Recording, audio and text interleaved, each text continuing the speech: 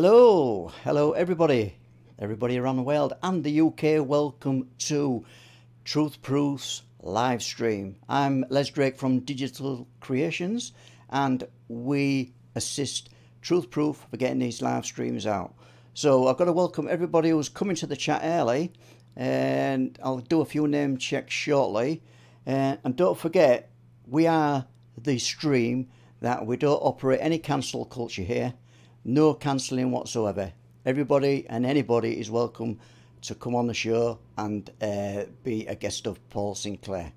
So, we've got to thank Deb, uh, Debbie Singleton, who is our moder- moderator tonight on the chat. Uh, welcome to the show, Debs. And Andre, if he comes on, he'll probably be on later. If he's coming on, he's our moderator as well. So, welcome, you two guys. Uh, okay, so sound is good.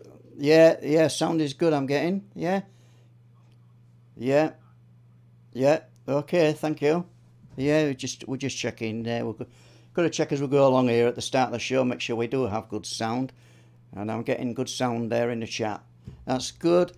So let's uh, let's have a look. So first of all, we're going to um, we're going to start off the show as we did last week. We've got a few outstanding questions. Uh, from the great show that we did uh, with Tim Brennan last week. And what I'm going to do, I'm going to start off with a, I think there's three outstanding questions here. So we'll bring Paul and our guest on, Johnny Summers, and then I'll, I'll uh, start with some questions. First of all, I'll welcome you two guys to the show. Thank you very much, Les, and uh, need to welcome Johnny Summers to the show. Really looking forward to speaking to Johnny today. I think uh, I think everybody's going to be interested in this story that he's going to tell later into stream. And okay. it, it, it, oh, one sec, Les. It's it's really good. It's got implications for 1980 and the massive UFO event in Rendlesham Forest. I feel myself it has anyway. So I think what John's going to tell us will be interesting. So sorry to butt in, Les. Fire away. It's okay. I've got about two or three questions from last week. Uh, feel free to come in, uh, John, if you feel you need to talk about any of these. Uh, question from Valerie was uh, were the Foo Fighters orange coloured? This is what Tim was talking about uh, last week. As all but one UFO I have seen were orange. So that's a good question uh, from Valerie. It is a good question. I'm sorry we didn't get to all of them last week, but it's two hours just flew, didn't it? But you know, I don't think Tim's description of the Foo Fighters or the objects that his his grandfather saw were orange. But I think a typical description of the Foo Fighters generally is orange or yellow spheres of light, which I find amazing when we're looking at these lights over the sea and on the Wolds, which I know that we'll touch on with Johnny. And have you any views on this, John? Well, I haven't seen anything orange as regards to Foo Fighterish, but definitely Foo Fighter style uh, figures. Yeah, in yeah. white, but not orange. Okay, thank you. Okay, yeah. Next question was from MKMD, MKMD Exploration and Paranormal. What are your thoughts on HAARP? That's H A A R P. It can control the weather. What else can it control? I su- well, there's a lot of conspiracy and talk about HAARP. Obviously, it's real; it exists. Uh, is it um, MKM probably be able to enlighten us better? Is it is, is this the extension of over the horizon radar? Is, that, is this the, the development after that? And I, I really don't have enough knowledge to to, to, to go into it in any detail. And once again, I'll ask I'll ask Johnny if he's got anything on it. I don't really have a great deal of knowledge on HAARP, unfortunately. No, sorry. Okay. Sorry, to let you down on that question. yeah, well, I think it's one of them secretive, uh, kind of secretive operations. It's out there. Everybody knows it's out there, but do do we hellers know what you know what it what it what information it gathers and anything yeah. else? Yeah. So uh, good question, though. Uh, question from Necklord88. Um, do Tim and Paul think, or in uh, this week's case, does John and Paul think real dis- uh, real disclosure is coming with all these released Navy videos? Well, there's certainly a lot of interest. Let's put it that way. I mean, I, I spoke to Guardian newspaper last week, and they were asking me my views on it. I mean, I don't know whether it'll ever get to print, and disclosure? I mean, are we? Is is it just is it just another another move as as we as we progress as a society and as as as we're discovering more via the internet, via the opening up of people in general just talking more. Have they got to move goalposts a little bit and just tell us a little bit drip a little bit of information out to us? Uh, uh you know i don't think we're going to get full disclosure. I mean it would mean admitting that we've been lied to for years and years and years and that's not going to go down well is it you know it's a it's a put a smile on my face but uh, and, a, and a lot of people in this room i think but uh, i don't think we're going to get it i don't what about you john I totally agree with you, Paul. I think uh, everything you said there, I echo it, as well as saying that's uh, very interesting to read the BBC jumping in on the idea. Now, knowing full well, as we all do, the BBC's attitude towards all of this, it's always a bit of a giggle and a laugh. Uh, and reading their article online, not a sense of that at all. So I think the media, if anything, is getting a little bit more serious with this, which I feel helps those out there take it a little bit more seriously rather than being the the last feature on the program type of thing you know? Yeah well, yeah well said. And any more questions les that's uh, that's all the questions from last week. I've just got to remind everybody uh, who's coming onto the stream tonight that if you do have any questions for Paul or John, please put them in uh, capital letters, and uh, Debbie can send me the uh, uh, the questions, and we can see them more easily. Also, I've got to add that there is a super chat on tonight if anybody wants to contribute to help us make these streams better. We also have a PayPal on the Truth Proof Facebook page as well. On that note, I'll let you guys take it away. Thanks. Great stuff, and welcome, Johnny Summers. And you, I'm looking forward to it. As I say, listening to you talk about 1980, but I think we should start with things a few years before because they've probably got it not implications, but they're probably linked to what happened in 80.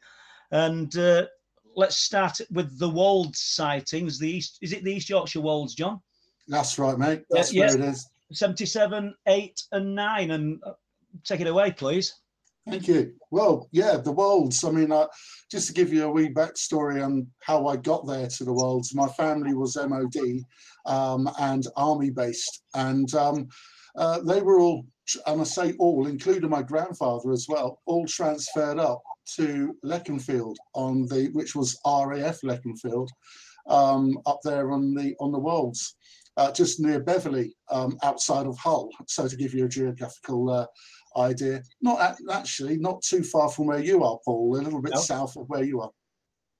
Um, so we uh, we were moved up there in 1977 and it was March of 1977, if I remember rightly. I've been doing my research on that because my memory wasn't too clever.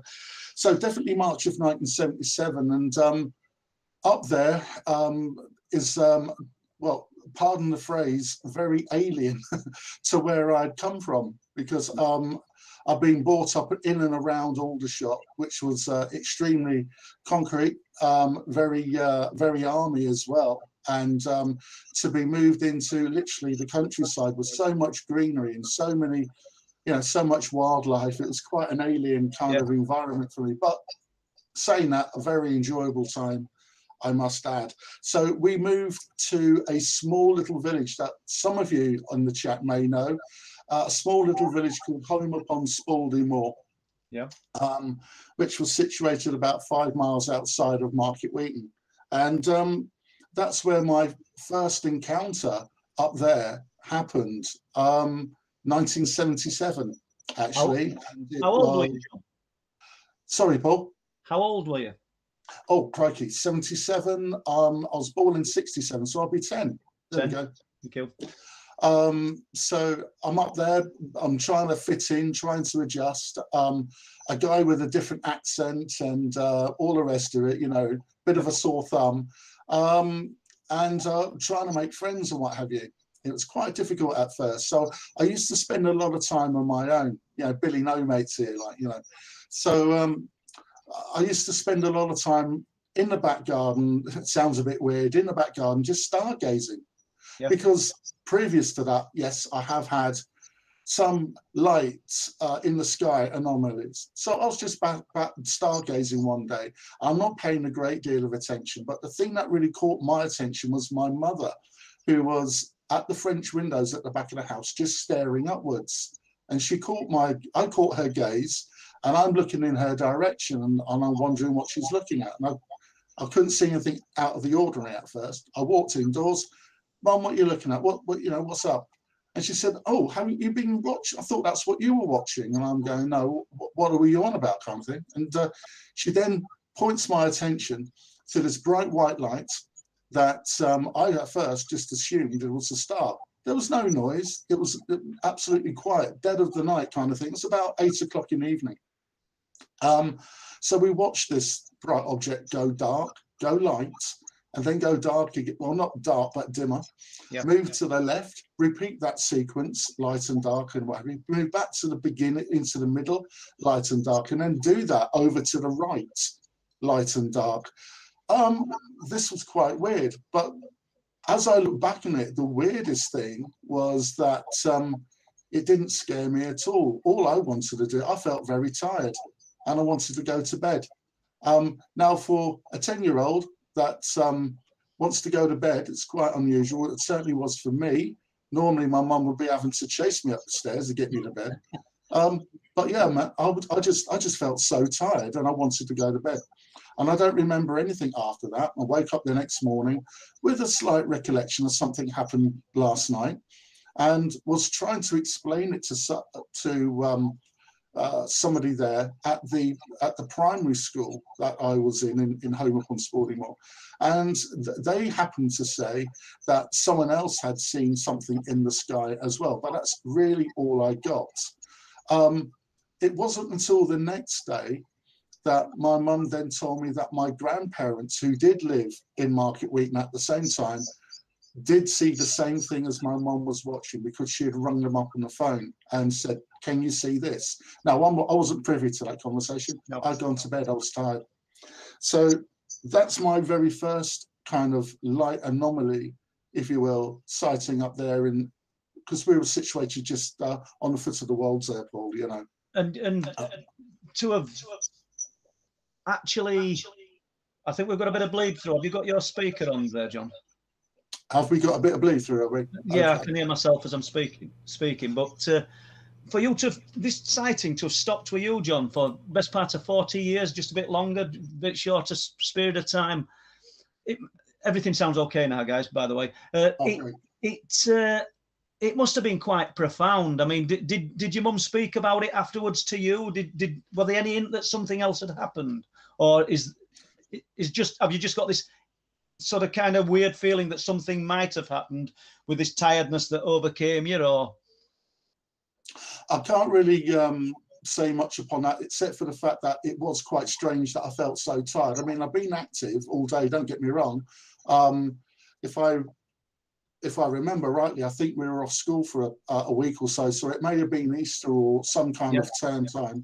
Um, so for me to be out in the garden that time of night would have been different. So that's what I'm guessing. Um, so to no, I don't think there was anything no. untoward that evening that actually happened apart from the sighting.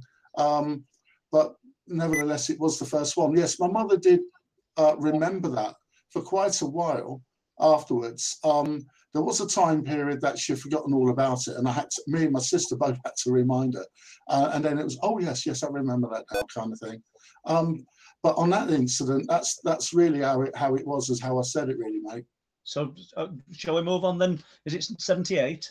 78 yeah sure absolutely so 1978 the first uh, situations that i've got here and i've just i've just got some notes forgive me um it was the christmas of 1978 and um, we've uh, we're doing a, a church mass up on a, uh, a church that sits on the top of the hill at home on Moor called Church Hill, obviously.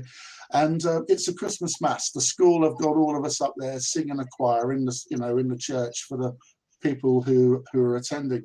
Now, after the mass had finished, all of us kids were sort of like corralled outside outside the church. It was really cold, but uh, we were told to wait there until the minibus came to take us away.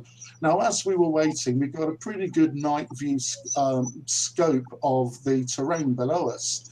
Um, and someone yelled out, Oh, look, helicopters. And I, we, we, all looked in the direction that they were pointing. Uh, as I recollect it now, very much from the scene of Close Encounters there, where they see the helicopters coming along the ground. Um, it was a little bit like that. And at, at, first we were going, oh, right, helicopters. And that's exciting, keep us amused whilst we're waiting. Uh, these things then decided to uh, split quite fast. So they were coming side by side towards the hill at first.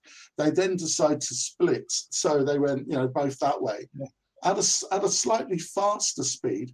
But the thing that really caught my attention, Paul, is that if they were helicopters, the light was shining at the front, we wouldn't have been able to see. Um, but we were be able, we were able to see. Is my point. Yeah. So these lights shot to either side and then shot upwards. So they've gone like this, and then they've gone up, and then they're just sitting there in, in, in the sky. Now, forgive me, I'm very rubbish with altitudes and heights and such, so forgive me. But this was a very high hill that we had to uh, climb up to get to the top of the church.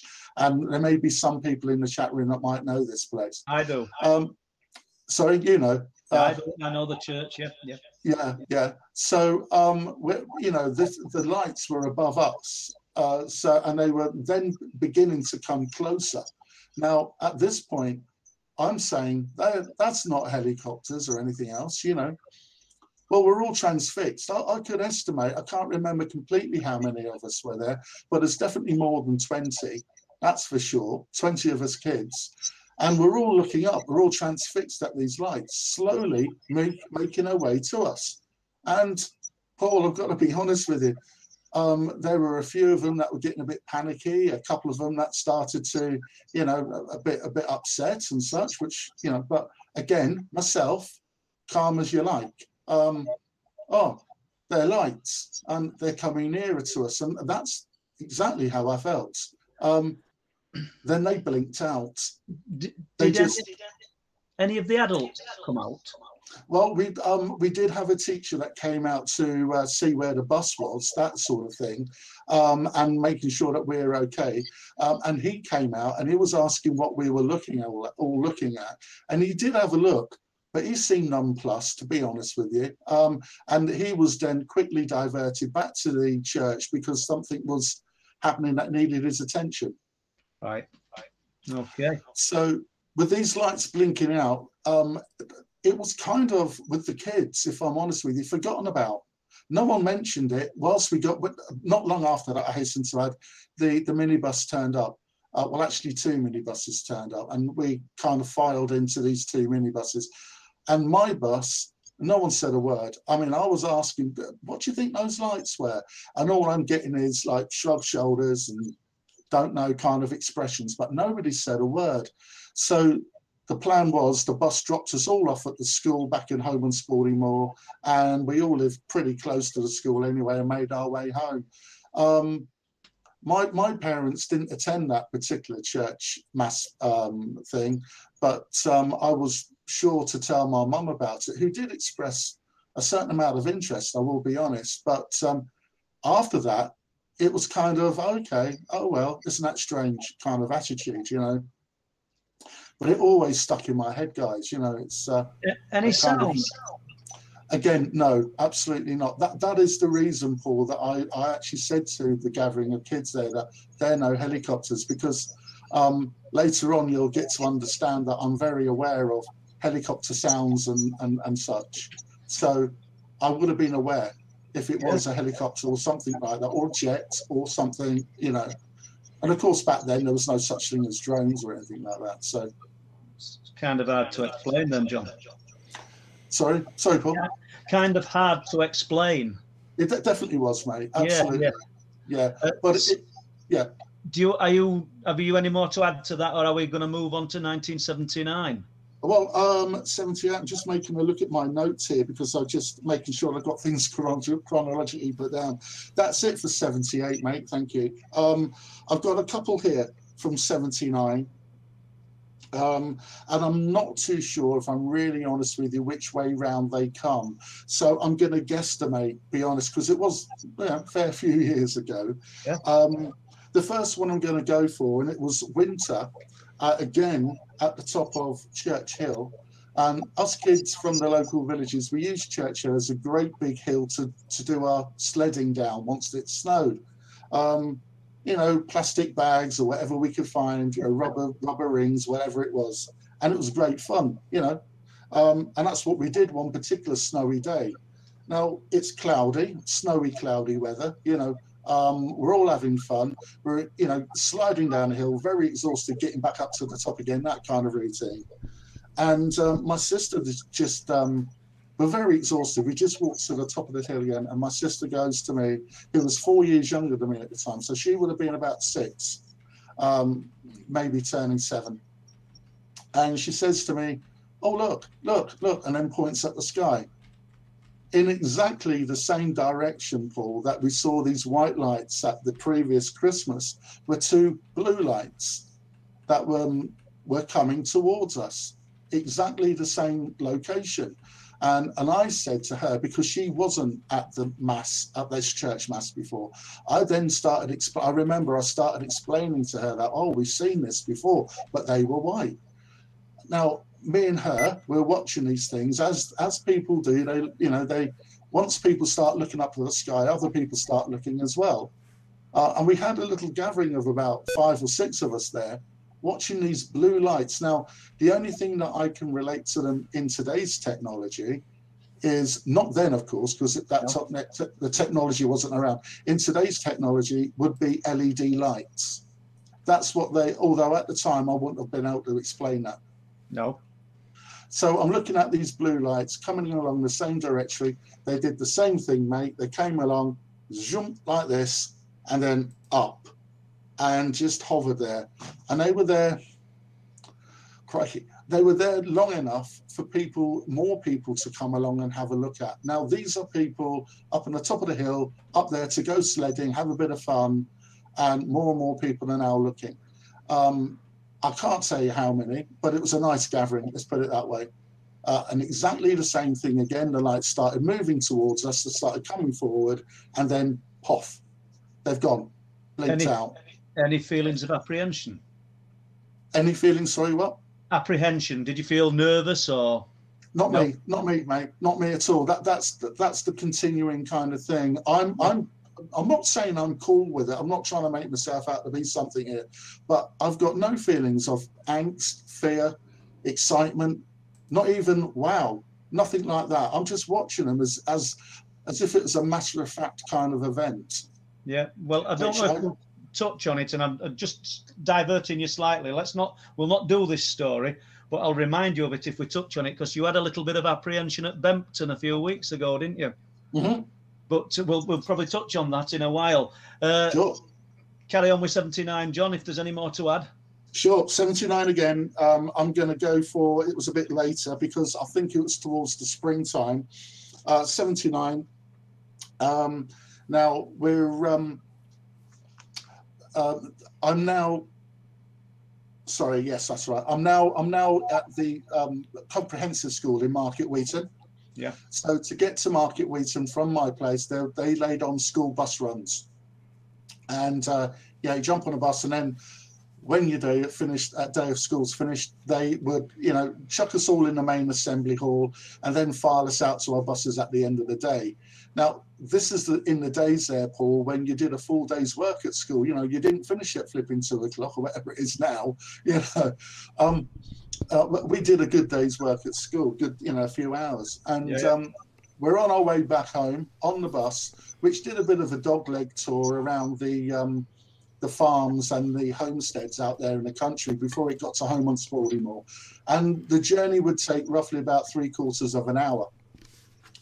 We're, we're coming out of Market Weighton. We've done our little dog leg there, uh, down to an area there that had a, uh, a reform school. It had like a Borstal type school, and the school was called um, St William's.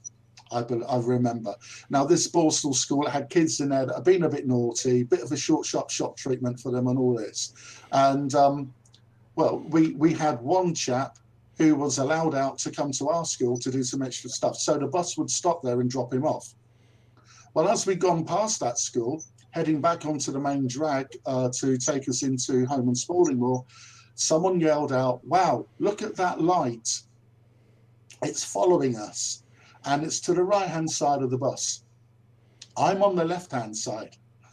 so I'm craning my neck, as you do, to try and get a view. And I didn't quite see it at first. The thing that alerted me was the fact that the driver of the bus had come to a stop.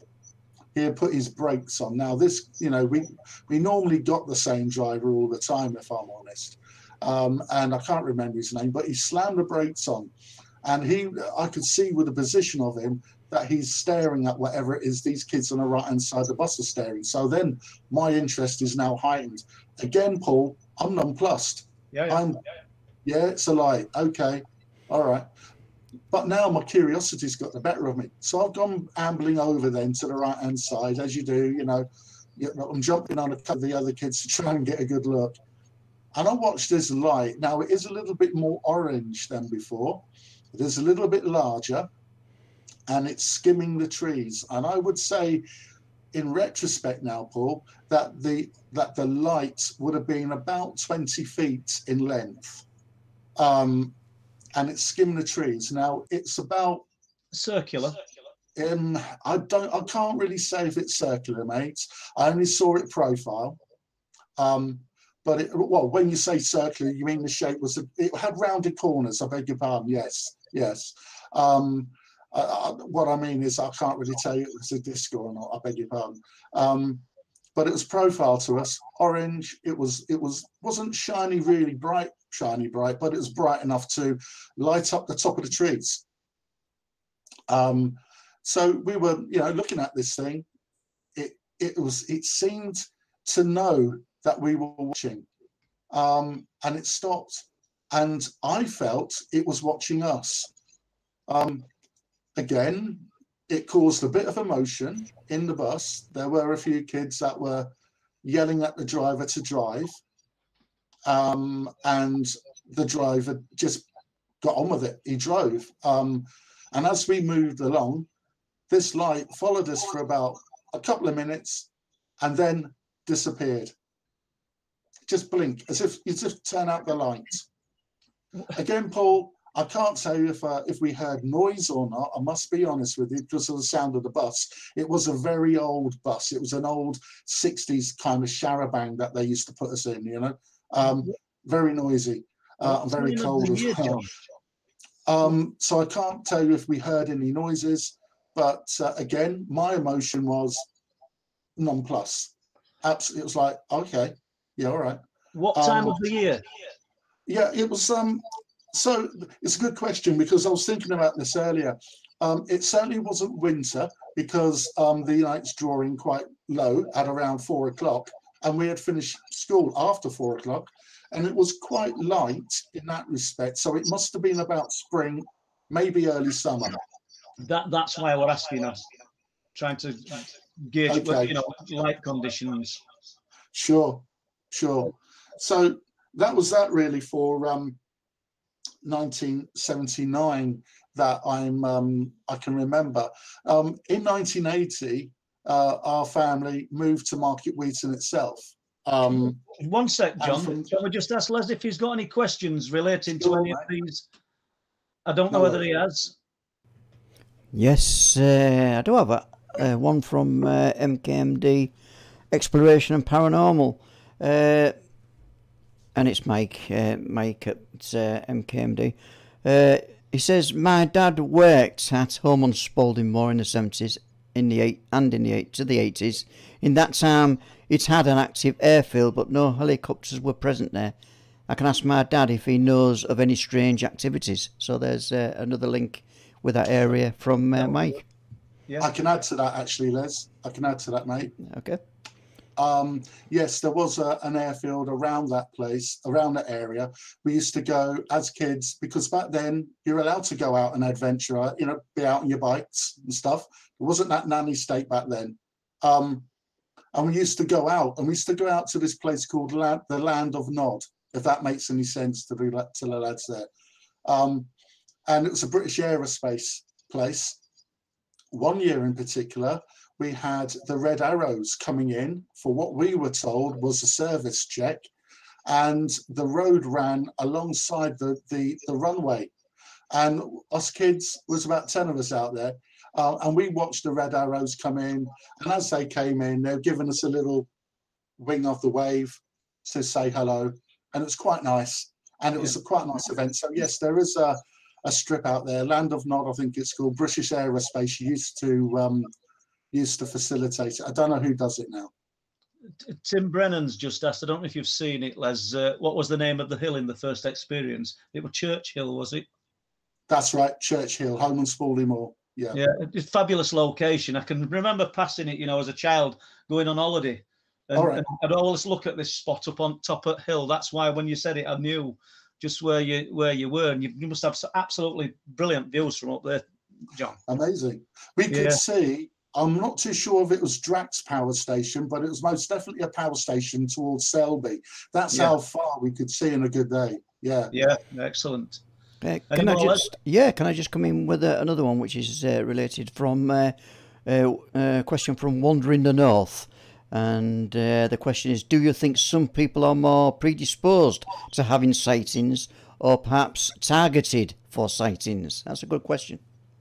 That is a brilliant question, and, thanks for asking that. Because if I may, Paul, can I just give a little plug to my documentary, The Invited, mate? Is that I- okay? I'd like to talk about that. We don't have to jump to the main bit straight away. Let's let's talk about the invited. Yeah, well, thanks for that question because I do believe that there are people that are not targeted in a, in the sense of anything detrimental, but I feel that some people are allowed, shall we say, or invited to watch or to witness. So yeah, is the answer to that. Which is why I've I've made the documentary The Invited, and more about that another time. Well, tell us about the people who who's involved. I, I- I've been lucky enough, and you know, I enjoyed a few weekends ago. Myself and Chris Evers spent. Well, I, I, I left before midnight. I think you stayed up into early hours uh, with, with Chris and, and Dave, and we, you know, we did a bit of an interview, didn't we? And Yeah. well, a bit. I think we, we talked for about four hours, didn't we? Three or four hours. it was a fair old stretch, mate. Yeah, we it- saw it really was. But um, who else have you spoken to? Well, apart from myself, we've got the the amazing Philip Mantle, who's, um, as you know, has been there from year dot with uh, UFO um, uh, ex, um, investigations, with uh, many uh, before MUFON and all the rest of it, UFOS, and all that. Um, so we had. We interjected that around yourself, Paul, over that weekend. So we, we spoke to Philip there. As you mentioned, Chris Evers, amazing guy a couple of great stories from Chris. Um, he does the uh, Outer Limits magazine, of course, as you know, and uh, conferences and such. So it's a very interesting guy to chat there as well. Yeah. Um, and then last weekend, we did um, an interview uh, at base, at Zycotica Studio base, with the amazing Kinsella twins that I know that you've had on your show, Paul. Yeah, yeah. Um, they were very enlightening and, and extremely lovely chaps, and uh, that was really good.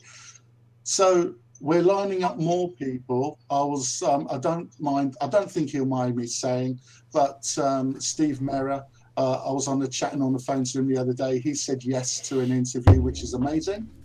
Um, and also the, the amazing Mr. Preston Dennett. Uh, I'm sure you're aware of Preston. Um, from the uh, he's at MUFON more or less of everything else, and it'd be good to get his kind of story take as well on on what what the phenomena is as well. So it's a good mixed bag, and plus we've got others lined up as well. It, it's going to be an exciting time. Is it is it pri- primarily British researchers?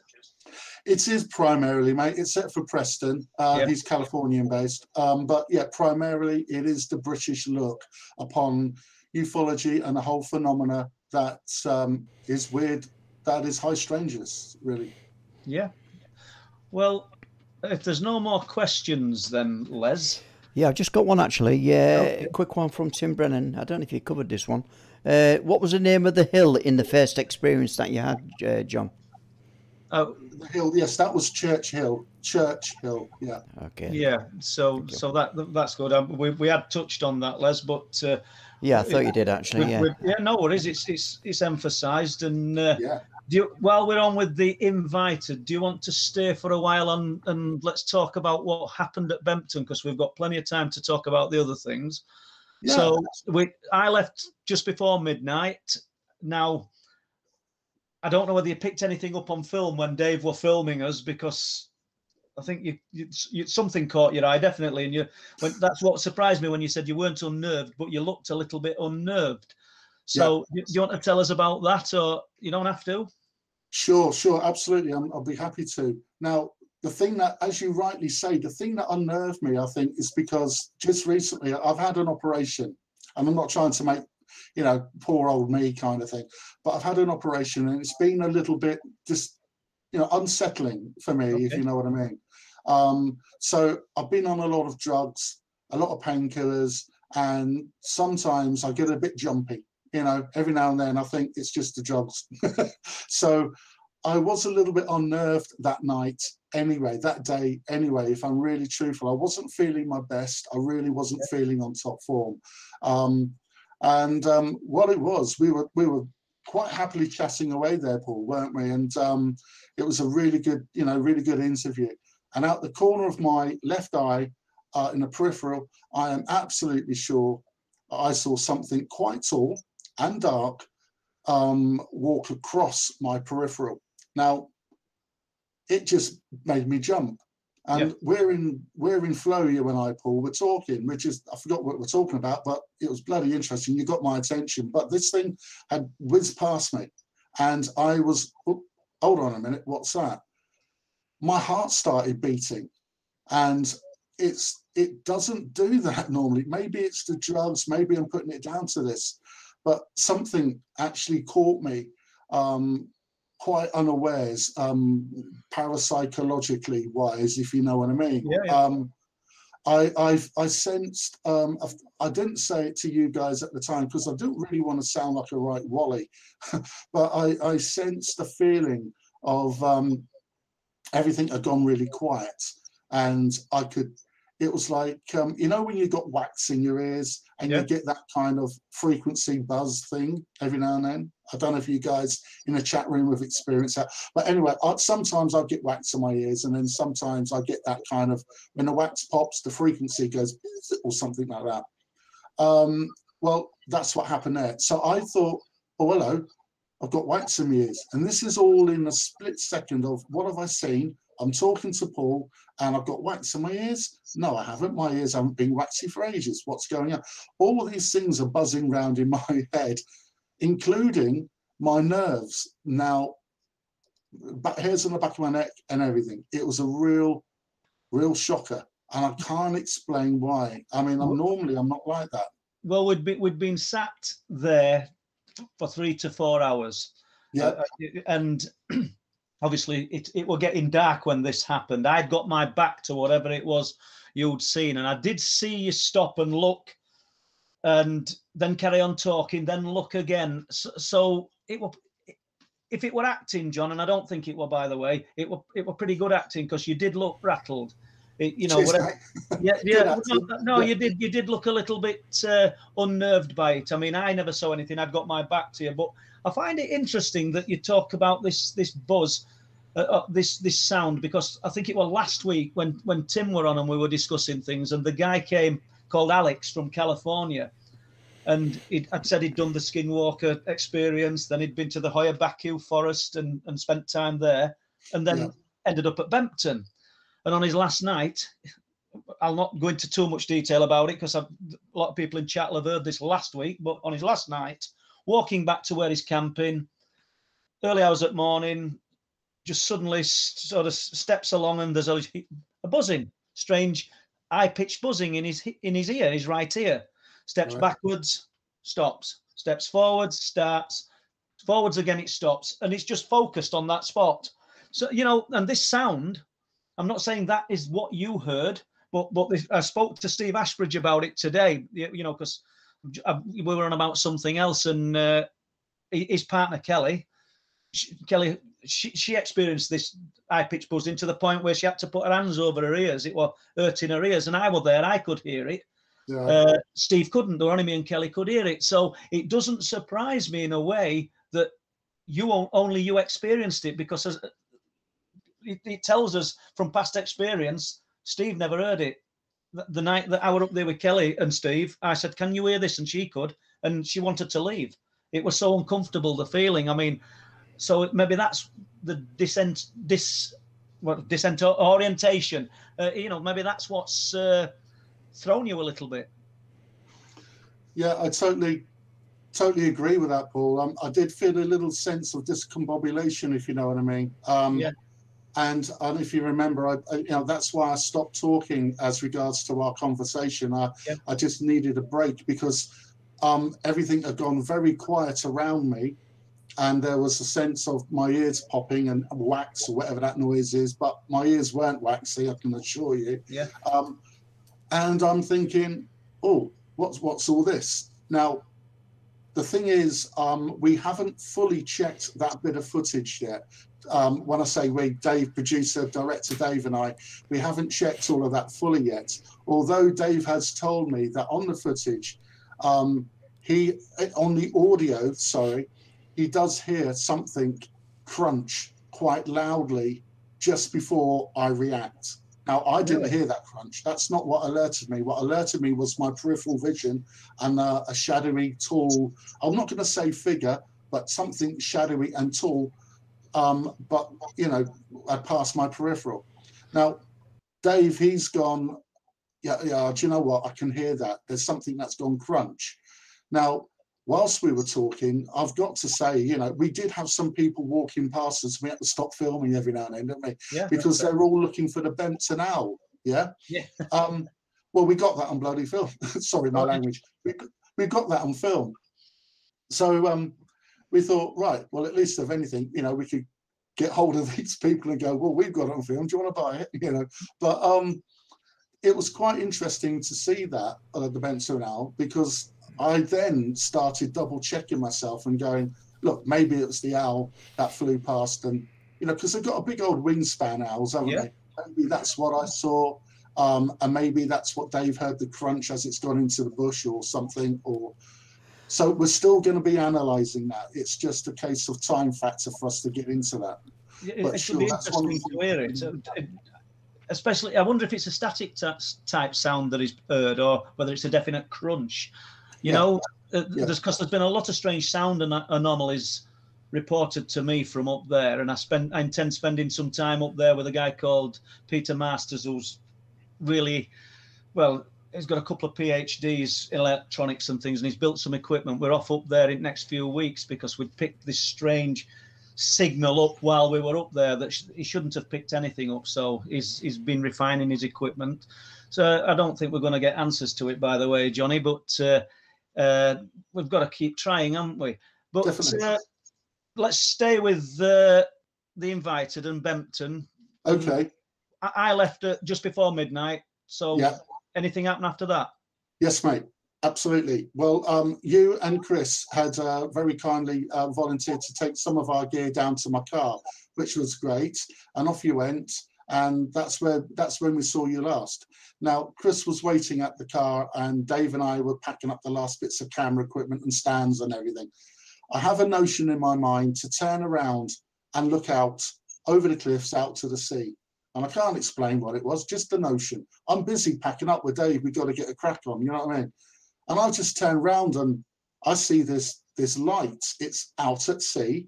It's above the cloud line. Now, the sun had not long ago gone down, so you did see a bit of residual, um, what they call it, a little bit of residual sunlight coming up over the horizon. So it had lit up the sky a touch, and we could see, well, I could see the clouds running along the top of the sea edge of the horizon above the sea. Now, this light was sitting above these clouds, and it's it's quite bright. And again, I'm thinking, oh, hello, helicopter, whatever, plane, I don't know. It then blinked twice. And that's what caught my. I'm like, well, what's, what's it blinking at? And then it, it, it just seemed stationary. It wasn't moving left or right. Didn't seem to be coming towards, although I will admit, I do admit, it's quite hard to judge aircraft coming at you if they're stationary or not. But it didn't seem to be, let's put it that way. And it blinked twice again. So I I just said to Dave, Dave, look at this, look. And the minute he uh, he's like, oh, what? And he's turned round to have a look. The, the light's gone off. It just blinked off. So I laughed and I went, something was there, but it's just blinked off. And he he laughed. He just laughed it off. All right, okay. And then started carrying on packing his gear away.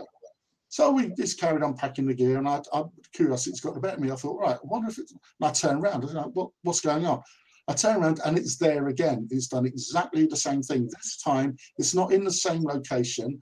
It's it's to the right of where it was, a little bit over towards um, Bridlington Way. Now I looked at it again. It's done exactly the same thing. Flash, flash, and then flash, flash. And I went, Dave, it's back again. And he's like, oh, right, where, where, where? And he spun round really quickly, Paul. And the minute he spun round, it went out. Now, this light, it's white. It's not orange. It's not blue. It's not anything else. It's white. Um, and I've laughed and I've gone, I think someone's messing with us. I didn't say messing. I said something else. I think some. I think something's messing with us.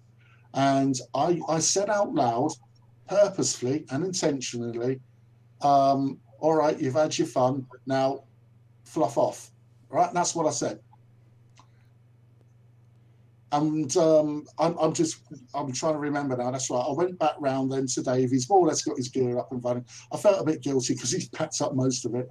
And we loaded ourselves up, you know, to, to get ourselves back down to the car. Now he's walked forward. He's gone forward because he's got the big torch. Because uh, now it's dark. We didn't want to be tripping over and I think is walking forward, lighting the way. And as he's doing that, this light comes back on again in the same place it came on in the third time, first time, sorry.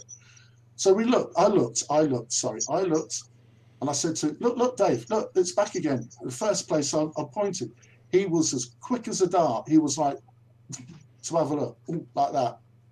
It went out, Paul. It just went out. It's like it's waiting for him to look.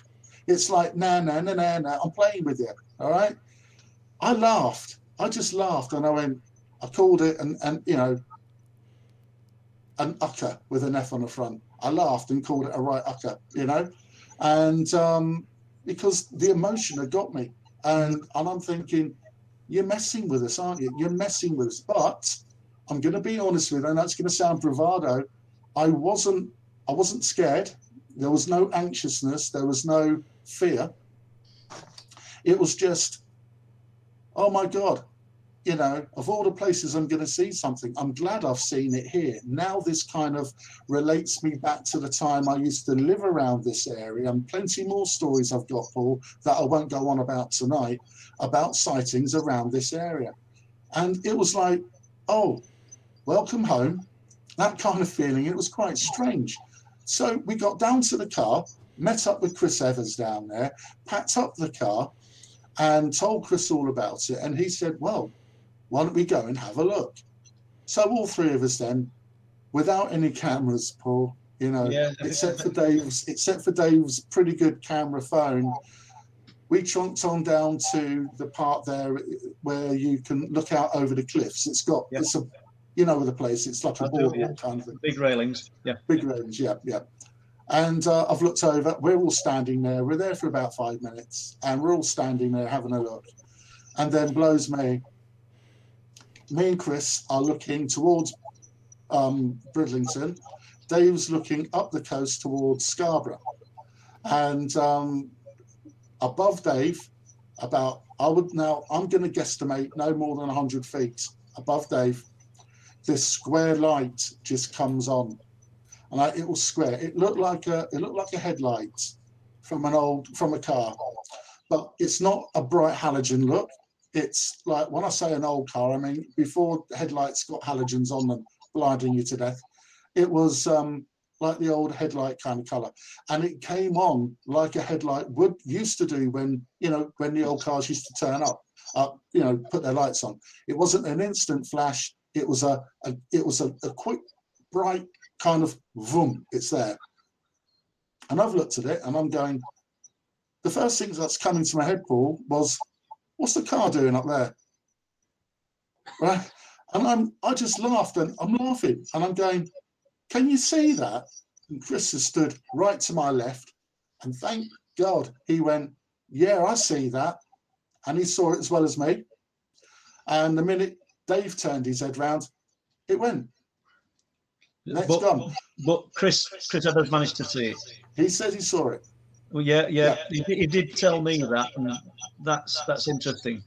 And and this this shape is not the not the first time similar things have been described.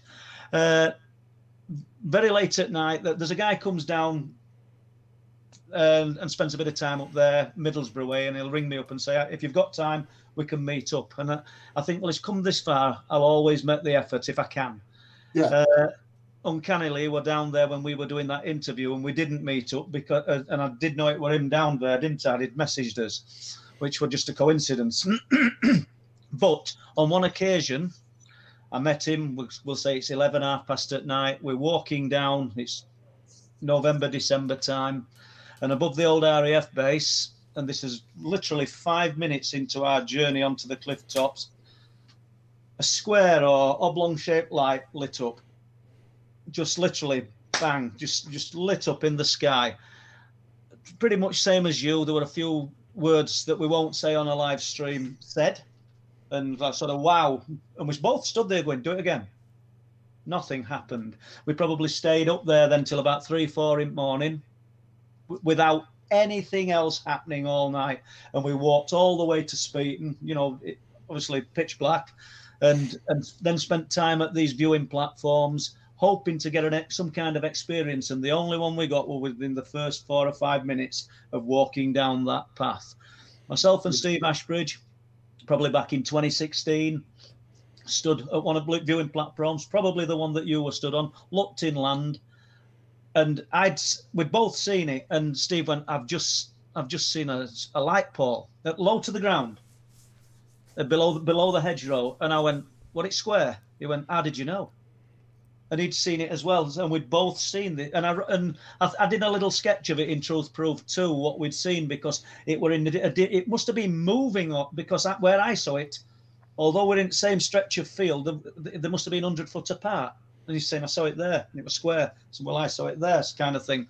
And we've, we've had a similar experience with Andy Ramsden, but it's strange that it's a square light that's, yeah. that's been been reported. But there's also all sorts of, I think the UFO phenomena, the light anomaly is a massive thing, a, a thread that runs through it all. In it, it's what what lies behind these lights that I find intriguing. You know sure. that that that's Les. Just before we run to a little bit of a break. Have we any questions?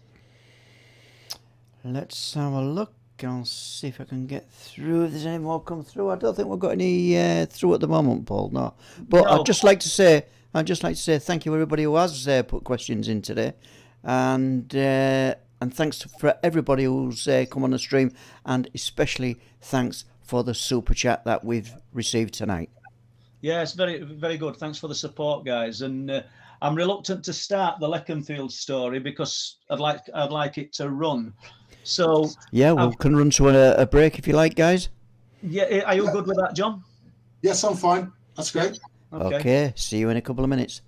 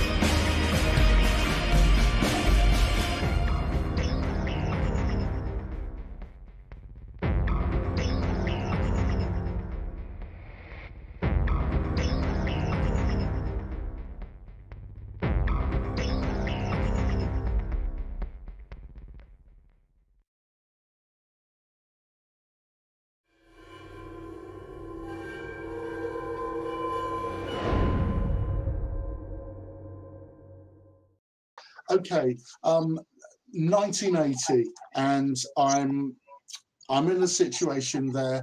Um, I'm with the Army Cadets, and I've just been transferred from the Market Weighton Army Cadet branch over to the Beverley Army Cadet Detachment um, for um, well for reasons that you know I, I, just needed a change, let's put it that way. And there was a scope of promotion, which I got in the end and stuff like that. So off I trundled. Um, and, um, um, you know, that that's just how it is. And and this was 1980. I'm uh, 1980, I would have been uh, well, 13 years of age. And um, I'm kind of um, making my way back and forth over to Beverley as best as I can, you know, buses and stuff like that, which hindered me quite a lot being of a young age. And um, you know, I had a great time over there. So I've got myself settled in with the boys. Um, we used to go out and do all of lots of different kind of uh, maneuvers and such, and very much um, being young young lads. Um, try to break as many rules as we possibly could, you know, being kids. Uh, one of the rules we used to do, one of the things and things we were told we shouldn't do that we did, was to try and get onto the um, Leconfield base, which by that time was now taken over, well and truly taken over by 1980 by the Royal Corps of Transport for their for their beginning stages of uh, driver training wing up there. So um, I just need to set out the layout. Um, the area in which we, we, I'm going to use the word infiltrated for the sake of a word. The area that we infiltrated was the um, south side of the base that had um, the uh, allotments attached to it. Now, I was very uh, aware of the allotments area because my grandfather had an allotment patch there, and on a Sunday I'll be doing the allotments with him. So I knew the area really well, and I knew a little, a few places that we could hide and not be found and everything else until we really wanted to get into the base for our little adventures.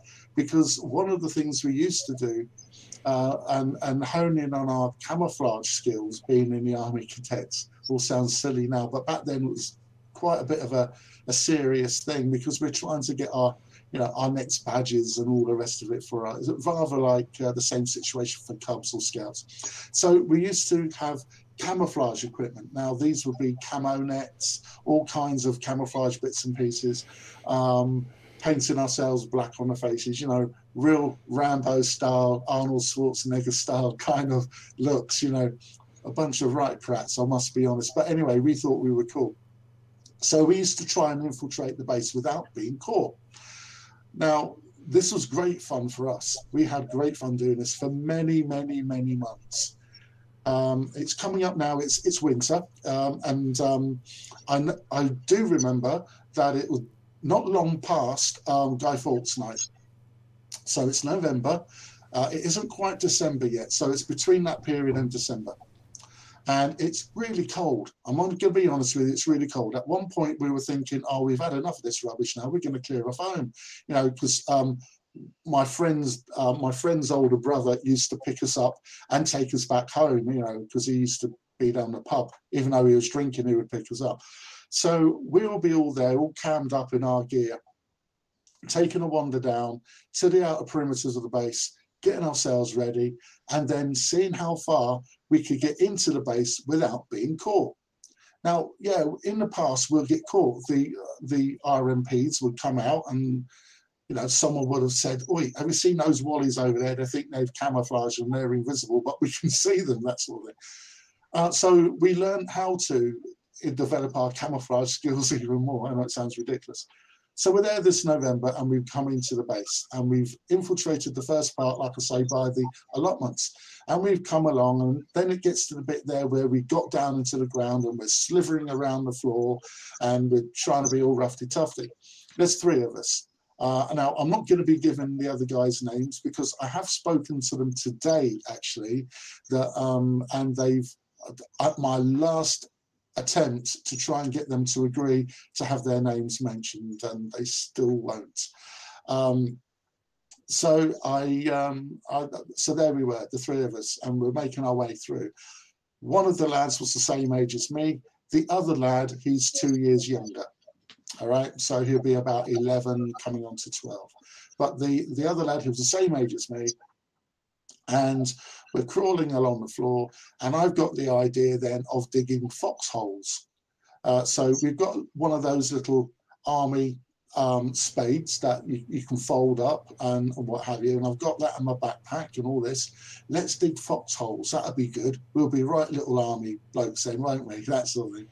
And we got about digging up these foxholes that we could get into. Now, foxholes, if you don't know, are little trenches that the um, fighting forces use to bury themselves into the ground so that they can cover themselves so that it won't be seen. So we're doing all of that. We're digging these foxholes and we're getting in the foxholes and we're covering ourselves up. We're thinking we're really clever. Well, we've managed to get a little bit further into the base past the allotment now, and we're up and up to what was the old runway, the when it used to be the RAF, Leconfield. And a runway is still there. It wasn't used, or if it was, we certainly didn't know, see it, because they had a, um, a, an assault course rigged up. The army boys have rigged up an assault course that run along the side of the runway. So if it was still in use, it'd be a bit precarious for any aircraft landing, that's for sure. So that's why I'm saying it wasn't in use, because I really can't imagine it would be. So we've got ourselves as far up to this assault course. We're thinking we're right clever now. We've never been this far before. Uh, you know, we're right on top of ourselves. And then um, the youngest guy, and I'm going to call them Tom and Jerry, just for the sake of a name. Tom being the oldest guy, Jerry being the little one, okay? So Jerry goes to me, John, look, look, and he points up to the sky and there's this white light. And I'm, okay, I'm nonplussed, all right? Like I said before, and I've gone, all right, yeah, I see loads of them. Now, Tom, the guy, the other guy there, he's been with me a few times when we've seen lights because we used to go out camping at different places and on weekends, again, trying to be all army barmy and all the rest of it, thinking we're clever.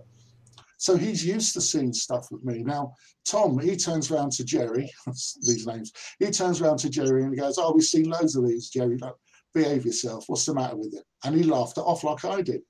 And we buried ourselves into the ground again because there were some squaddies that were walking around the perimeter. They weren't doing anything to try and find us. They were just there and they were in uniform. And we thought, oh, great, this is great bait. Let's see if we can wind them up. Well, they just disappeared.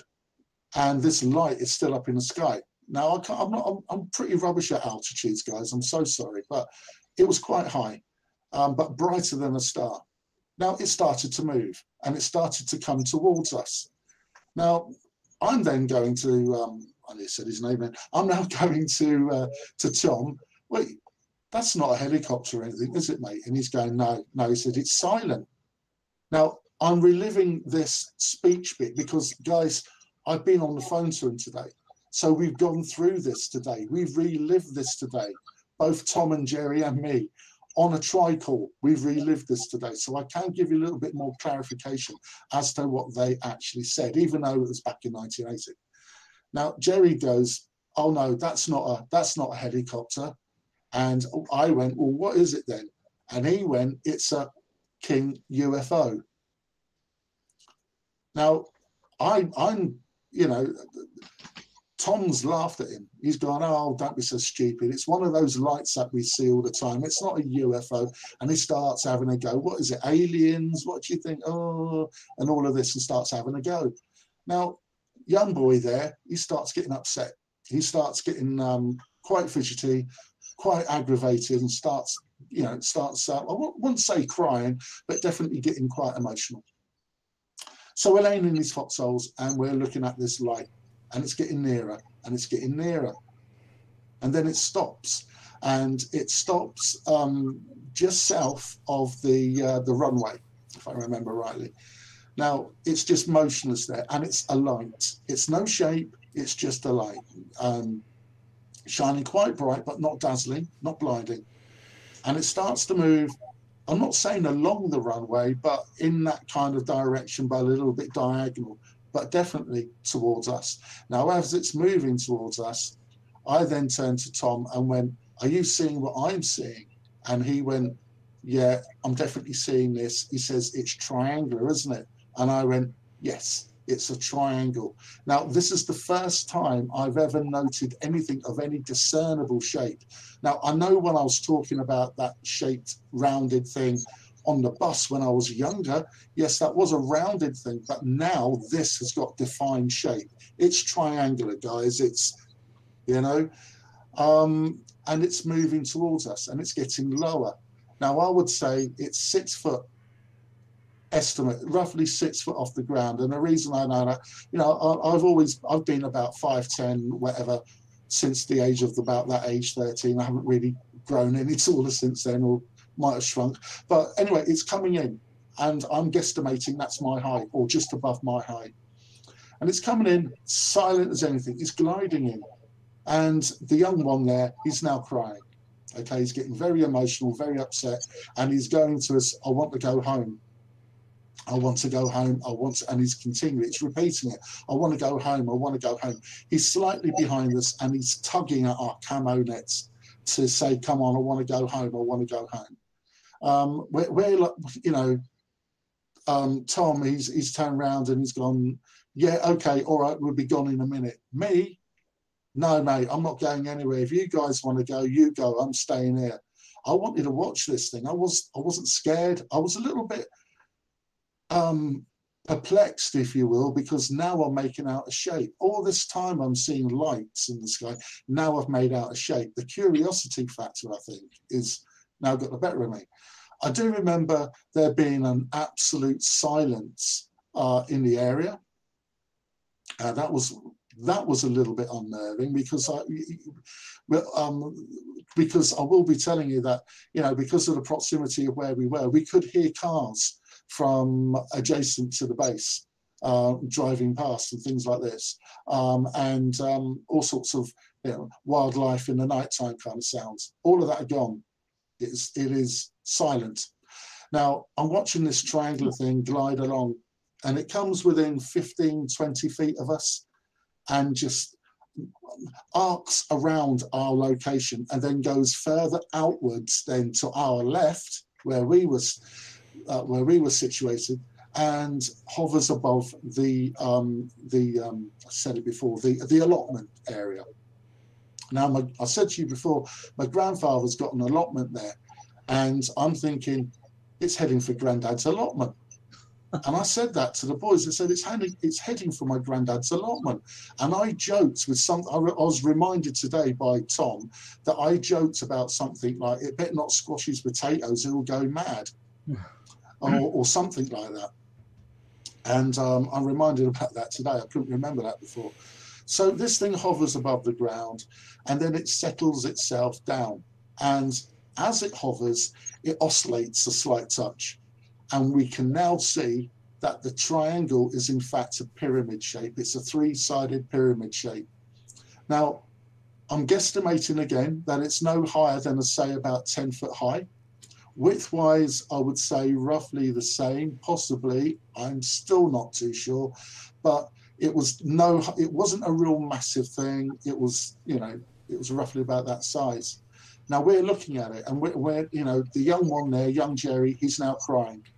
He's now getting upset, which has then heightened the anxiety of the other guy I'm with, Tom. Okay, he now stands up and gives a, a, a load of obscenities he's he's freaked out. He's gone. He's stood up. He's shouting at all the mother whatevers you are and all the and the B's and all the rest of it at this thing. I'm still nonplussed. I'm just looking at him, losing his losing his plot, watching young guy there, you know, literally going to pieces with emotion, and I'm not. Uh, not because I think I'm a roughy, toughy hard nut or nothing like that. It's just void of emotion. Again, um, it's a very discombobulating period. Um, I'm feeling I'm here, but I'm not here. Watching this thing. Um, and then adjacent to this thing, in the background, we see the RMPs, and they're in they're in two jeeps. Now, with the jeeps running on concrete, it makes a quite a wearing kind of whiny sound, and you know they're jeeps and it's coming up the up the uh, concourse there um, and, and along the road. Um, and they had actually cut across the parade ground, which I didn't think people were allowed to do that. But anyway, that's what they had done. So taking a shortcut to get onto the road to get in our direction.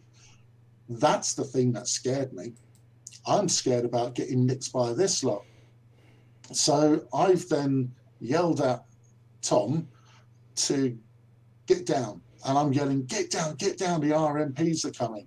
I'm not worried about this triangular thing. I don't care about that, honestly. He's he's yelling and he's screaming. I've managed to pull him down. And I'm going, shut up, we're gonna get caught.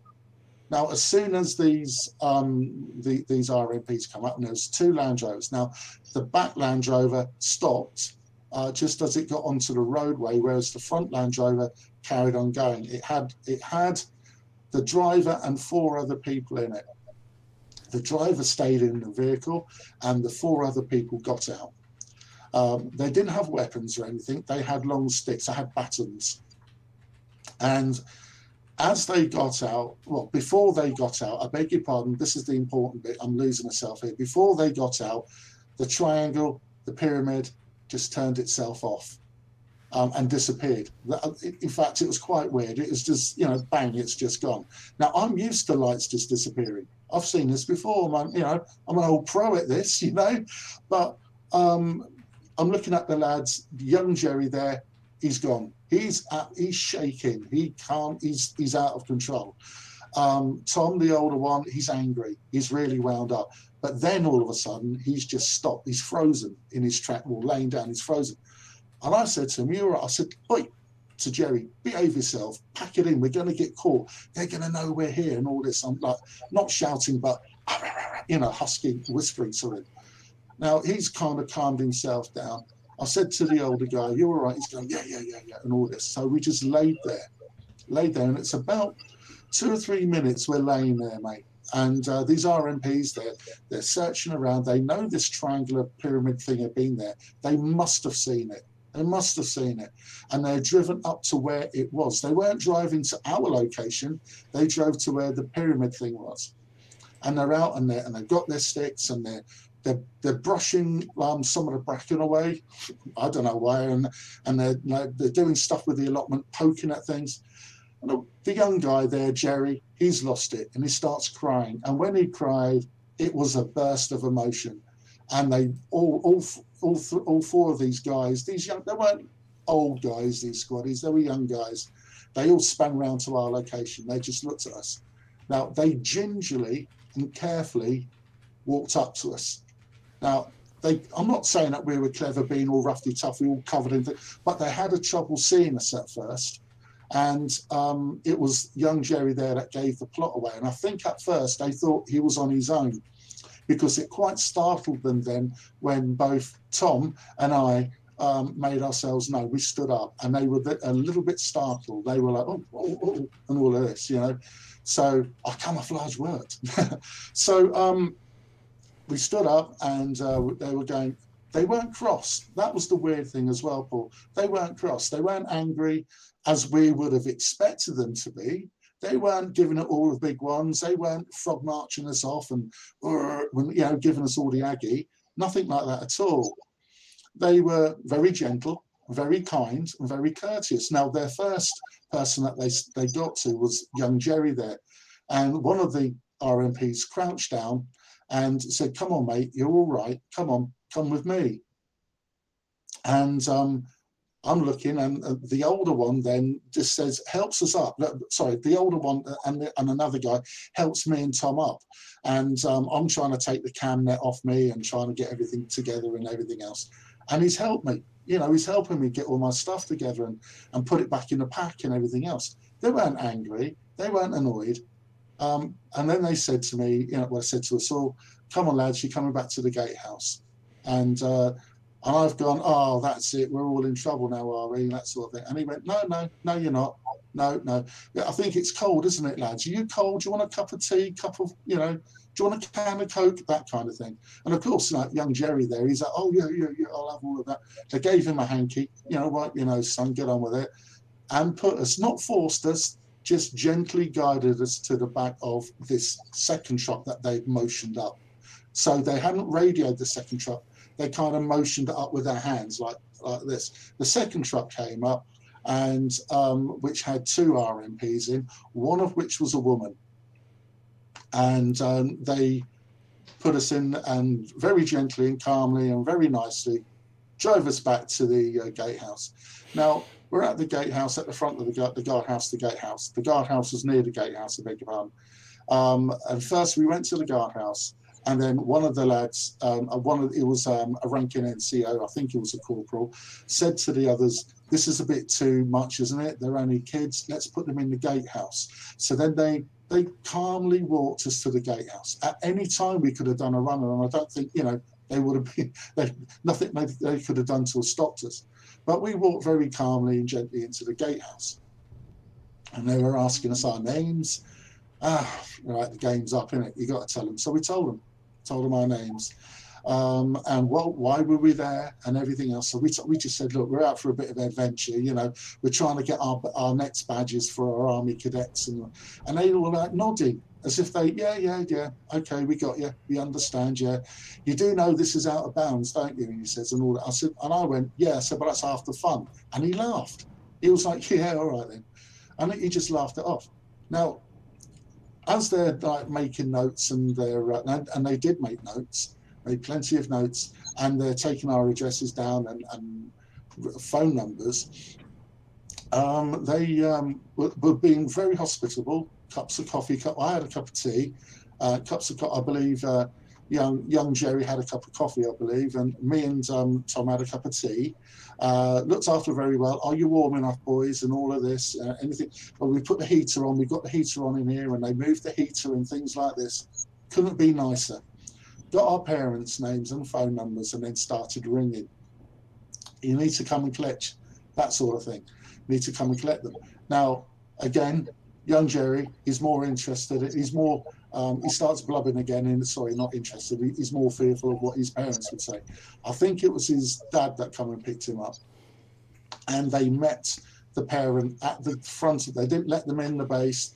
They they met them at the gate, and then they called uh, who whichever's parent it was to the to the front of the gate, and without any any fuss or, or whatever, escorted him out to his parents. So I, I, didn't know quite what the reaction was with his dad or anything else like that.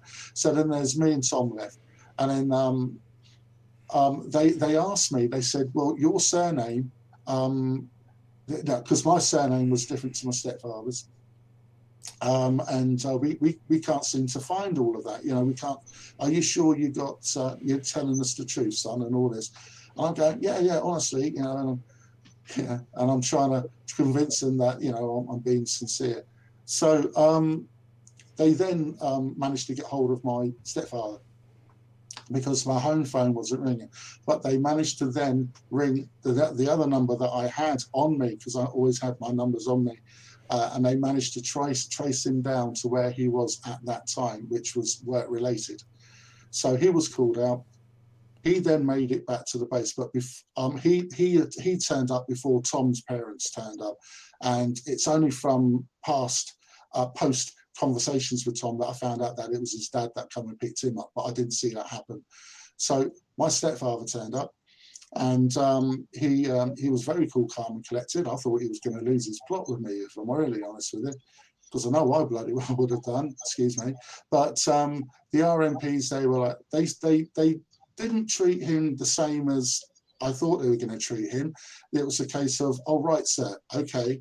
And uh, they, they, they kind of stood back and um, it was right, sir. Yeah. And there was a bit of reverence towards him. Um, obviously, I'm not going to go into details about what he did for a living, but it was MOD.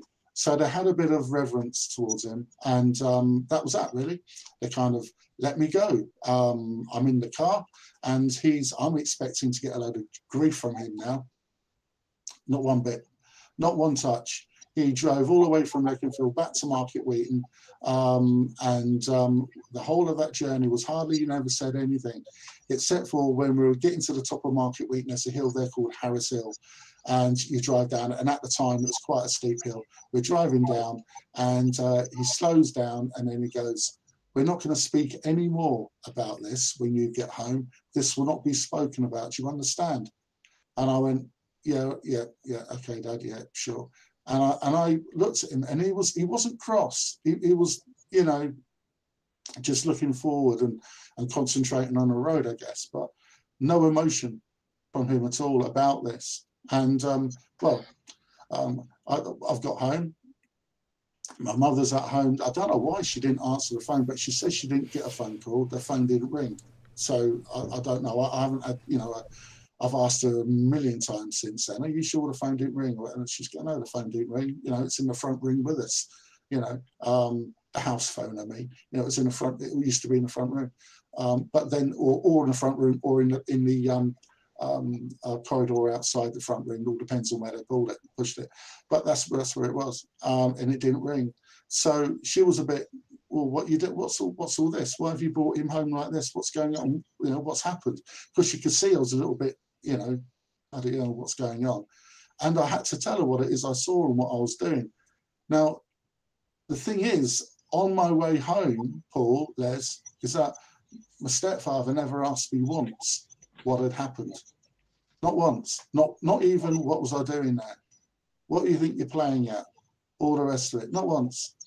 Um, yeah. Now I have spoken to him about it since as I've got older, you know, grown up and what have you, got my own bills to pay and my own way of life.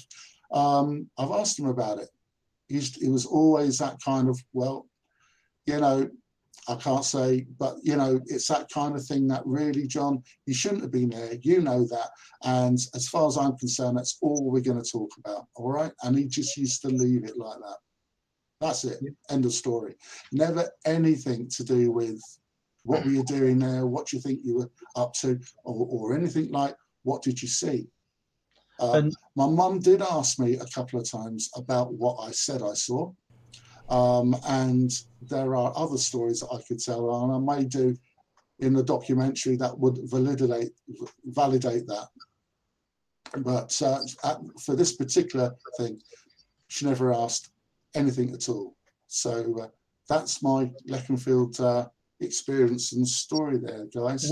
Um, well, hopefully we'll be able to, I'll be able to hear what you guys are saying. So I'll shut up now, and hopefully we'll be able to hear what you guys have got to say first of all, can can John hear me? Can Les hear me? And can the people in the chat hear us? I'm obviously John can't. No, uh, John can't. John can't hear us, uh, Paul. But uh, I'm here. Right. Well, basically, guys, uh, some of the things I would have liked to have asked John if if he could have heard us was what colour the light was because I've already gone through the story with him and I can tell you it was white, and he he does think there's implications to Rendlesham Forest as well, uh, as, as I do. But it, it's just a pity that we can't have this interaction because uh, I think it's quite an incredible story, and I could have probably coaxed a little bit more out of John. So I think at some point we need to do this one again.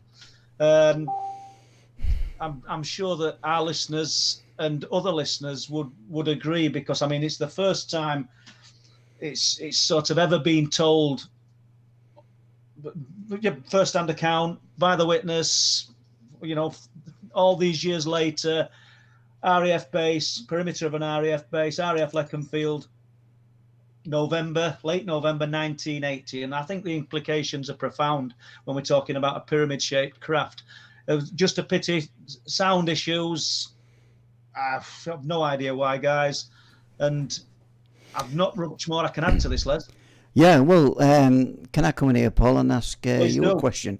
Yeah, and obviously I'll be asking it to John if he was if he was able to hear us. But how important the date that he'd given? How important do you think it was to the Rendlesham uh, Forest uh, incident? I, I, think it's immensely important, hmm. and uh, I mean it. It makes you wonder if if other military bases or other military installations around the UK, around the world, even were touched by the presence of this this what we'll say is a true unknown. I mean, John said this thing came down, landed within well, moved within 15 to 20 feet of them, and then landed a short distance away. Had the ability to just switch on and switch off. Some of the descriptions uh, that he's talking about, excuse me, and its movements don't sound, sound dissimilar totally silent. You know, yeah. I think we've heard Colonel Halt say, "This is weird." Do you know what I mean? And it, obviously, these were young lads that have experienced this. Uh, what he, what John doesn't touch on is that when they were being interviewed, and I know he's told me that I think the word UFO was mentioned by one of the boys, not it wasn't John, and uh, there were there were a little bit of discussion about that, and obviously his, his immediate family didn't want to talk about it, and I, we've got to respect that. That's that's up to John, and I'm talking here, and the guy can't hear me, so I don't want to say anything out of turn. But no, I think it's immensely important. We're we're on a we're on the edge of a military base back in 1980, late November 1980, and I think the significance it's it's uncanny. We might be at other side of the country, but uh, I think there's implications and connections myself. Has uh, I know you can't speak for Johnny, but uh, has has this account been uh, put in the public domain before, Paul? No, no, it's a first. John John's not doing this because of the uninvited. Sorry, guys, the invited. I think we give Nick Pope a plug there with his book, The Uninvited. John's not doing this because of the invited, his documentary. I've known about this, and I've probably touched on it on live streams and various podcasts for about 18 months to two years. But I didn't want to go into great detail about it because I wanted John to be the first person to tell it. Uh, it can't be better than listen, listening to this from a first-hand witness. Now, there's some questions here. I don't know if we can get John to answer them. He's gone. Just... He's back. Ah, right. Can you hear us, John? Can you hear I can us? hear you now, man. Superb. Well, I've uh, what I've done is I've jumped on the phone.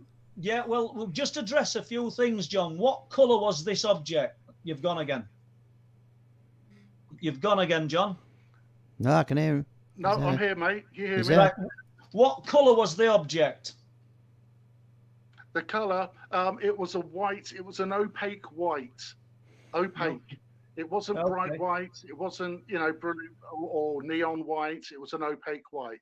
You, you, what you're doing now, John, is you're echoing some of the things I've just spoken about for five minutes while you were in silence, because uh, you know. And when when you when you guys got taken into the the room and spoken to by the the military personnel, the, the word UFO were Yeah. mentioned once by one of the boys, weren't it? Yes, yes, it was. It was like uh, um, I've forgotten what set in context it was, but um, one of the um, one of the one of the one of our well, the three of us, um, and I think it was the younger one, uh, said something like, "Oh, we saw a UFO. We saw a UFO," and um, it was kind of like, well, I wouldn't say nonchalantly ignored, but it was it wasn't a kind of what did you say, lad? What was that? It was nothing like that it was a, a kind of acknowledgement of, but without a um, an audible acknowledgement, if you know. Yeah. Um, they they just didn't seem to be that shocked. As I said before, they definitely went to the area of the of the pyramid rather than coming to find us. They they didn't know that we were there. Um, well, if they did, they weren't coming to our area. No. That's my point. Uh, One more thing, and I've just said this to the listeners, so I'm sorry for repeating myself, guys, but I, I want I, I want to stress that John's not telling this story primarily because of his documentary, The Invited. This story, uh, first told to me probably two years ago by yourself, John, and I've touched on it a few times in live streams and podcasts, but I wanted you to be the person to tell it. So it's the first time it's been aired, and you know what do you think its implications are, John, for, for the other big case of December 1980? Well, it's very strange, isn't it? I mean, obviously, it, it took me a, a, a long time to make the connection, if I'm really honest, because the whole, if I, right, okay, the whole Rendlesham thing, guys, was not in my radar until, well, early 2000s, if I'm truthful, if not mid 2000s. Um, Yeah. So, right up through that time. Although I will say, you know, when I say not on my radar, not as far as investigating, I was aware of Rendlesham. Um, through the latter through the mid to the mid 80s onwards because of other situations that I'll go into at another time. But um, as regards to investigating Rendlesham, no, I, I, I wasn't wasn't that uh, uh, you know up up No. to date. Um, I, firstly, I must apologise, guys, for the quality of my phone camera here. It's absolutely rubbish. But, Well, well, well, don't, John, because at least we've got sound and we've, we've got this interaction now, haven't we? And I, I'm just glad that we can put these questions to you. I don't know if anyone in this chat has had any questions that they want to ask, Les. Has anything come through to you? Yes, um, let's have a look. I think you've already asked one of the questions, but we'll uh, let's have a look. Uh, I think Okay. something about NIV. Okay, right, yeah. Uh, did I ask this question, Paul? Just remind me if I did. Uh, from Wandering the North, it's my opinion that much talked about USA reporting to UFOs uh, slash UAPs will talk a lot, but say very little. What does Johnny and Paul think? So it's about the USA and the report of the UFO uh, UAPs. Uh, me, me personally, I think I think he's probably right. I don't I don't think they're going to tell. It's kind of they'll tell us what they need to tell us. Do you know? Do you, you know what I mean? I know we, we, we're going up at same ground, and I, I bet people within the UFO community, we're all kind of saying the same thing. I know there will be some people who put their hands up and think we're going to. It's, it's going to be something like the second coming that we're going to be listening, you know, hearing about. But I don't personally think it's not. I'd love to be corrected. I- I'd like to be wrong, but I just think we're gonna we're just gonna be told enough to satisfy us until our our curiosity, our knowledge widens a little bit more, and we'll have to be told some more. I don't know what you think, John. Um, I think you're right, Paul. I think you've got it on the na- hit the nail on the head there, mate. Um, they're definitely not going to give us anything of any substance except for what we already know, but possibly a few little tidbits like they have done already with, you know, a few, shall we say, I like to call them, uh, you know, prominent plants that get invited into the into the uh, into the circle. Um, Yeah. Like we've already had the exposure of to the Stars Academy malarkey with uh, Tom DeLonge and 182 kind of guy They're just gone again, the John. It's gone on in the past. Hasn't really done a great deal, exposed a few things as regards to the future. Tom, no, not Alex Blink, lots going to and all of this kind of circus kind of routine. That's not that change. I don't feel. I think you're right. Yeah, Les. Anything else?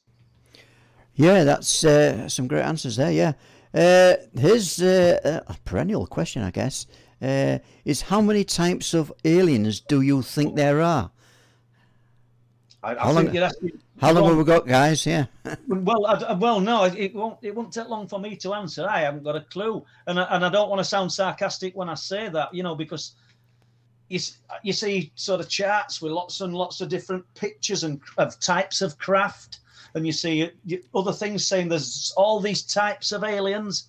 I really haven't got a clue, and and if if there are, then yeah, fine. I, I've just no idea, and and then when you've got the people who've amassed all these types of aliens, how do they actually know?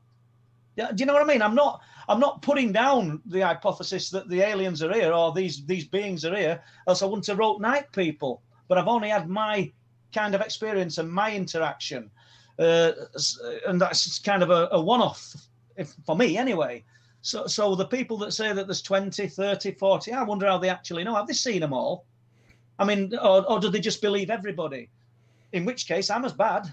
Believe me. You've seen the descriptions that I've put in Night People. Well, one thing I've not said, by the way, and I, I get punished off Don Lodge.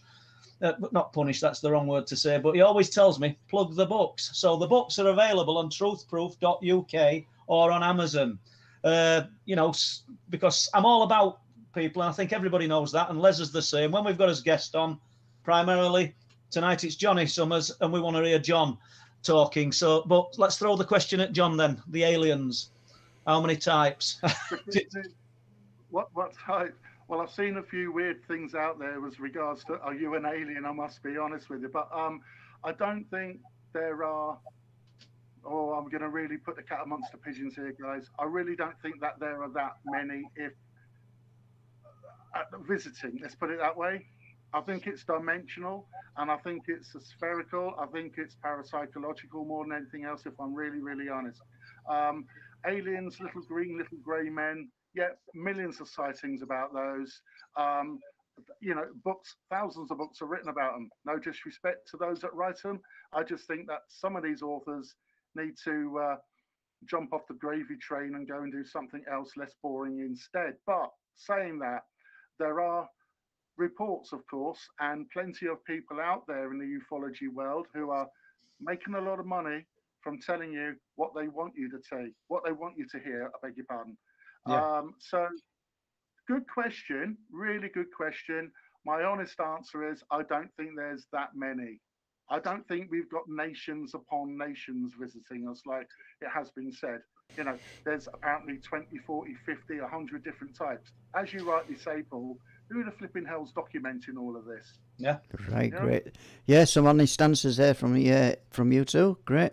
Uh, Jim Louise Barry asked uh, um, about your Leconfield story, John. Was it a solid triangle of light? Well, I think you already covered that, but if you want to just go through that again. Definitely was definitely a solid triangle there, guys. Um, it had shape and definition for sure. Yeah. Okay, thank you. Just one more, Les, because while I'm on with this, I'm interested. The light that it emitted, did it light the ground up around it, John? It did underneath. Once it got nearer to the ground, pole, yes, it did. But um, as I said before, it's a roughly about six to ten feet above when it was flying into us. It didn't illuminate then. Um, Yeah, my- my- did as it came down. My reasoning is, we, we, well, let's just picture a normal torch. We put that on on, on its wide beam, and it's going to illuminate a large area of ground. This is a, an illuminated object, ten foot tall. We'll say ten foot by ten foot, three three sides. Did it illuminate a large space? That's what I'm meaning. Not the area of, uh, because the lights off Bempton don't seem to light up this the area of sky around them. That's what I'm trying to get at. Yeah, exactly. That's that's that's a really good, really good way of explaining it, Paul. Uh, it's because when it came down to the lower part of the ground, yes, it did slightly illuminate, but no, nothing like a torch would or a beam of light or something along those lines. No, no. Thank you, Les. Yeah. Uh, um, question from Bobby Dazzler. Uh, has Johnny had any MIB, Men in Black experiences due to his interest in the subject? What a great question. Thank you, Amanda. That is a great, question, and um, if I say yes, I'm just about to go and put my silver fall hat on. No, uh, no joking aside, um, not MIB, no, not MIB, but um, uh, because my research has been extensive, I have had, shall we say, curious, curious um, onlookers. Let's put it that way. Yeah, but not MIB, no, for sure. Okay, thanks for that. Uh, I've got a question from Tony Worrell.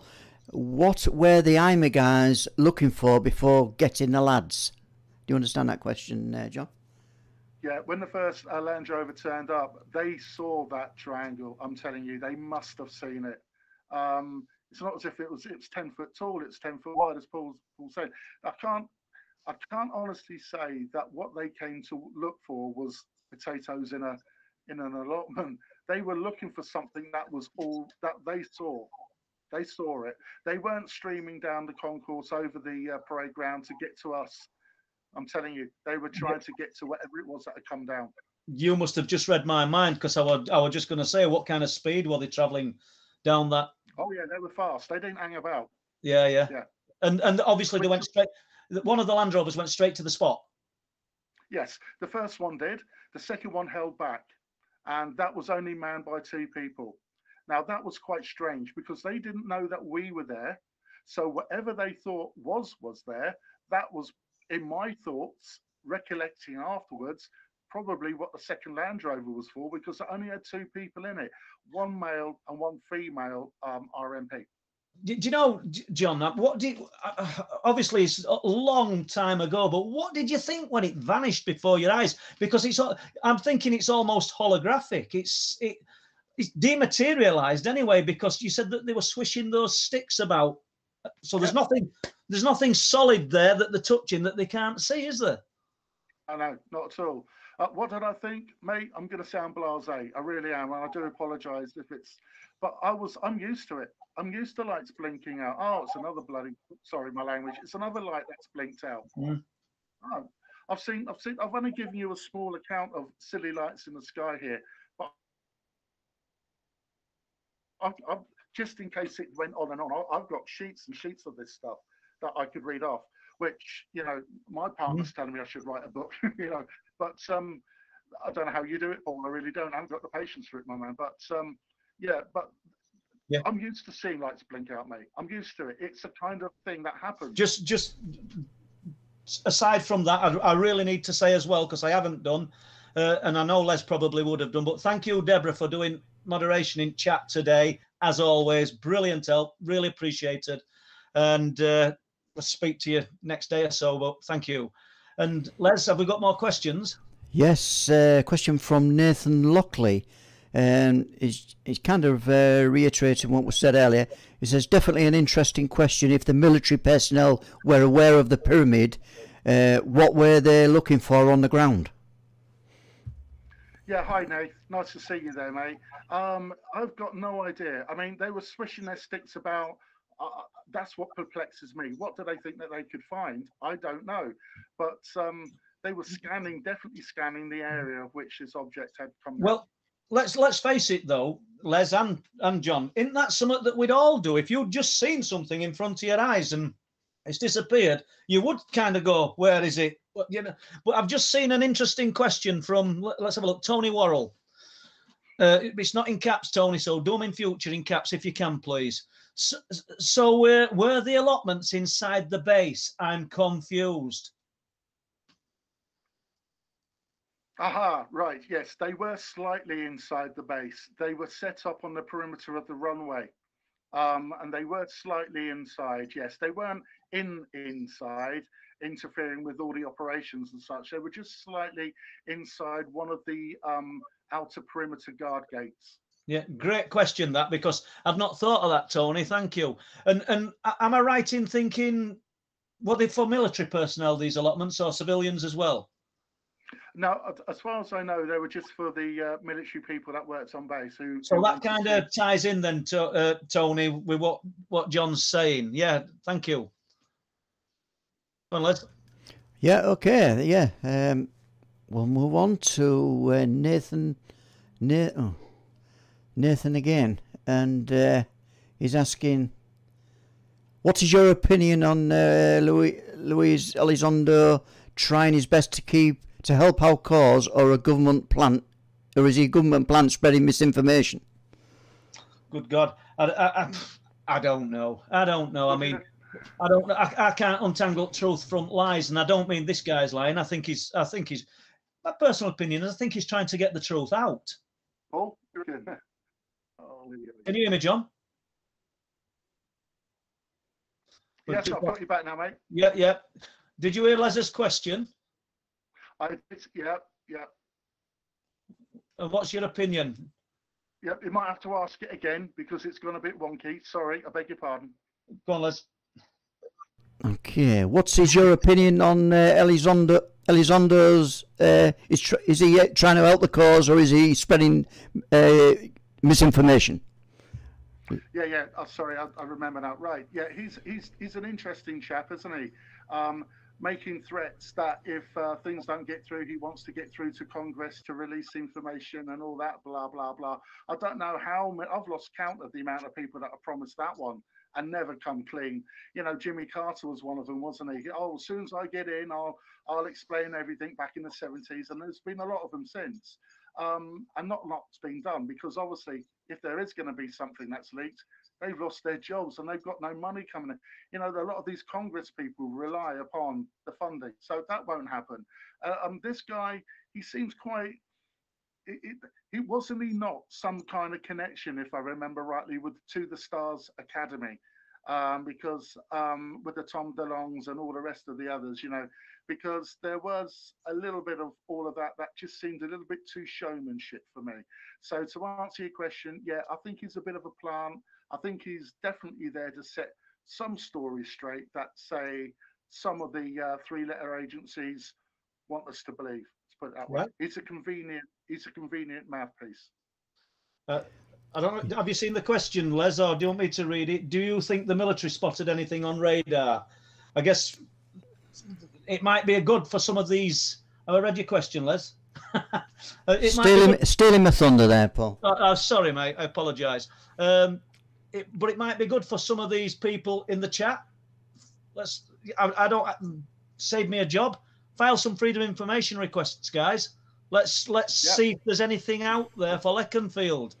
You know, there's too many researchers just want to sort of hang on to all this.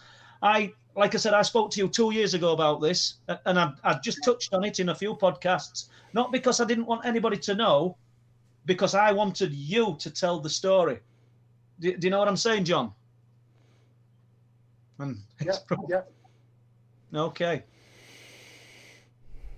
Okay, right. Um, I think we're we've got a few technical issues, guys, and yeah, I think we're going to leave it for tonight, guys. We are into the end of the two-hour session. It's been as good as we could get it tonight. We do persevere when there is technical issues, but on this occasion, uh, John is so faint he could be a million miles away.